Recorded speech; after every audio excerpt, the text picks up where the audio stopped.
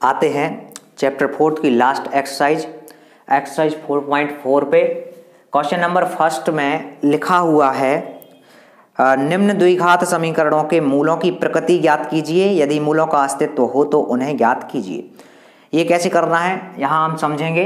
हमारे पास जो quadratic equation होगा, उसकी हम कंपेयर करेंगे। A x square plus b x plus c is equal zero से यहाँ से हमें वैल्यूज़ मिलेगा ए का बी का और सी का। यहाँ से हम विभक्ति कर डी का वैल्यू निकालेंगे b square minus four a c यहाँ पर तीन कंडीशन होंगी, पहली कंडीशन होगी D is greater than zero यानी कि जो हमारा मान आया है वो कैसा है? पॉजिटिव इसका मतलब है मूल का, मूलों का अस्तित्व होगा,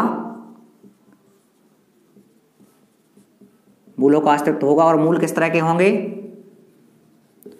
रियल होंगे और कैसे होंगे? और इक्वल नहीं होंगे। मतलब दो मूल जो हमें मिलेंगे, वो अलग अलग होंगे, एक जैसे नहीं होंगे। सेकंड इक्वेशन यहाँ सेकंड कंडीशन यहाँ बनती है डी इज़ इक्वल ज़ीरो इसका मतलब भी है कि मूलों का अस्तित्व तो होगा, मूल होंगे, और वो मूल कैसे होंगे? रियल भी होंगे और इक्वल भी होंगे। दोनों मूल एक जैसे आएँगे। जो लास्ट कंडीशन होगी condition third D is less than zero इसका मतलब है हमें नेगेटिव वैल्यू मिलेगा यहाँ पर और यहाँ पर मूलों का अस्तित्व नहीं होगा। समीकरण का अस्तित्व नहीं होगा और मूल यहाँ पर हमें जो मिलेंगे वो कैसे होंगे? काल्पनिक इमेजिनरी इस तरह से इक्वेशन को हम सॉल्व करेंगे और उसके इक्वेशन की नेचर डिफाइन करेंगे। क्वेश्चन नंबर फ़र्स्ट में फ़र्स्ट क्वेश्चन लिखा हुआ है two x square minus three x plus five is equal zero तो सबसे पहले हम इसकी कंपेयर करेंगे इससे। तो a x square plus b x plus c is equal zero से। तो ए इज़ इक्वल मिला हमें टू बी इज़ इक्वल मिला हमें माइनस थ्री और सी इज़ इक्वल मिला फाइव अब हम यहाँ पर d की वैल्यू फाइंड करेंगे। D इज़ इक्वल होता है b square minus four a c तो बी स्क्वायर का मतलब माइनस थ्री का square minus four a c ये मिला हमें नाइन माइनस फोर्टी माइनस का थर्टी वन ये कैसा है? नेगेटिव इसका मतलब है समीकरण का कोई भी अस्तित्व नहीं है। और समीकरण का अस्तित्व तो नहीं है मतलब मूल कैसे होंगे? काल्पनिक होंगे, वास्तविक नहीं होंगे। जो सेकंड क्वेश्चन है, उसमें लिखा हुआ है क्वेश्चन नंबर सेकंड इसमें लिखा हुआ है three X square minus four under three X plus four is equal zero यहाँ पर ए का वैल्यू होगा थ्री बी का वैल्यू होगा minus four under root three और सी का वैल्यू होगा four D is equal mine B square minus four A C B square minus four root three का square minus four A C ये मिलेगा हमें sixteen into three forty eight forty eight minus forty eight D is equal zero समीकरण का अस्तित्व तो होगा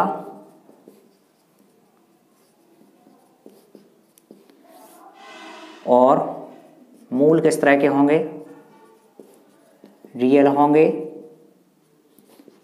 और इक्वल भी होंगे। क्यों? इक्वल इसलिए होंगे क्योंकि डी का वैल्यू है ज़ीरो के बराबर।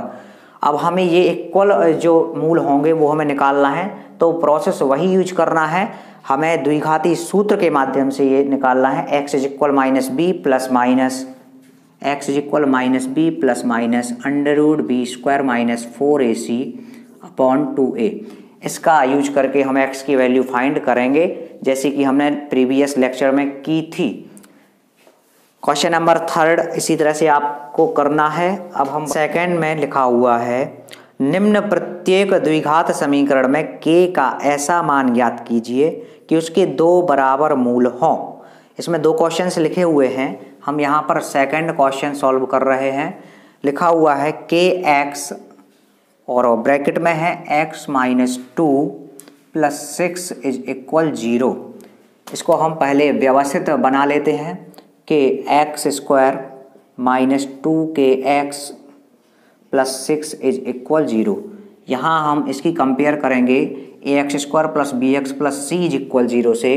तो हमें ए का वैल्यू मिलेगा के बी का वैल्यू मिलेगा माइनस टू के और सी का वैल्यू मिलेगा सिक्स और हम यहाँ पर डी का वैल्यू फाइंड करेंगे. D is equal b square minus four a c तो यहाँ पर बी स्क्वायर का मतलब है माइनस टू के का स्क्वायर माइनस फोर ए का वैल्यू है के और सी का वैल्यू है सिक्स ये मिलेगा four k square minus twenty four k question में लिखा हुआ है कि के का ऐसा मान निकालना है कि दो बराबर मूल हों।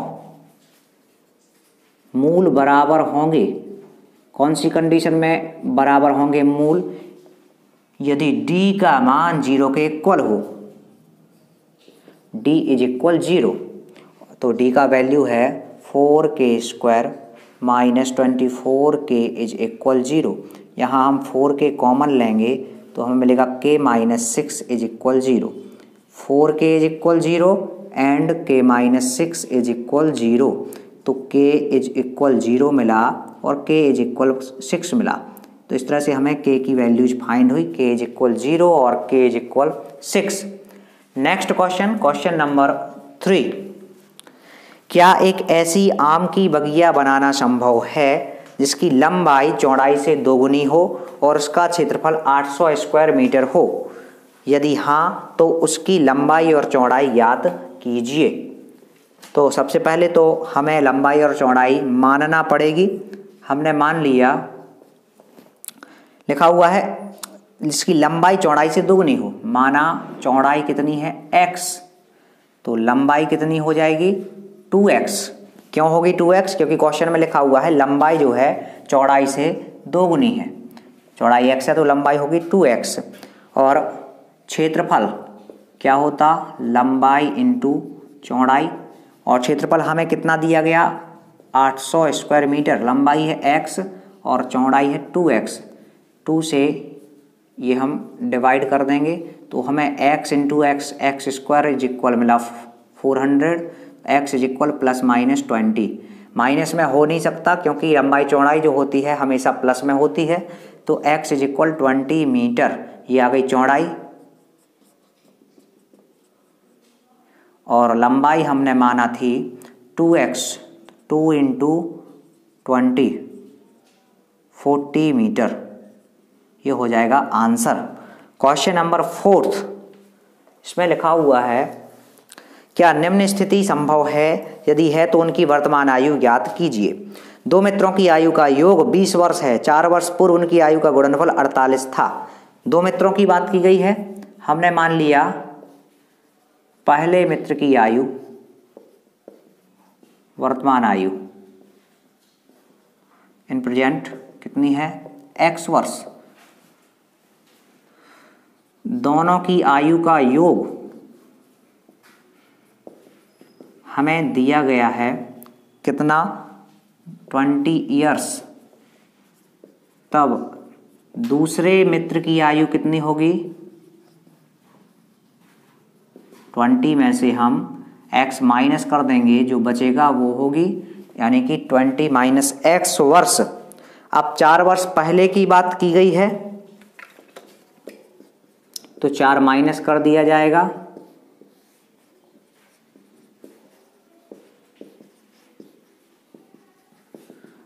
एक्स में से चार माइनस करेंगे, एक्स माइनस फोर। दूसरे मित्र की आयु ट्वेंटी माइनस एक्स में से फोर हम माइनस करेंगे तो हमें मिलेगा सिक्सटीन माइनस एक्स। और क्वेश्चन में लिखा हुआ है, इनकी आयु का गुणनफल फोर्टी एट था।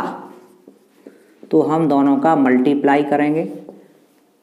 X minus four, sixteen minus x is equal forty eight. X का मल्टीप्लाई करेंगे तो कुछ इस तरह से हमें सॉल्यूशन मिलेगा। माइनस का एक्स स्क्वायर प्लस का फोर एक्स और प्लस का सिक्सटीन एक्स, ट्वेंटी एक्स, ये minus sixty four, minus forty eight is equal zero minus x square plus twenty x minus. यहाँ हम माइनस से मल्टीप्लाई कर देंगे तो साइन चेंज हो जाएँगे। ए इज़ इक्वल मिला one b is equal minus twenty c is equal one one two यहाँ हम विविक्तिकर निकालेंगे डी की value D is equal b square minus four a c formula use करेंगे।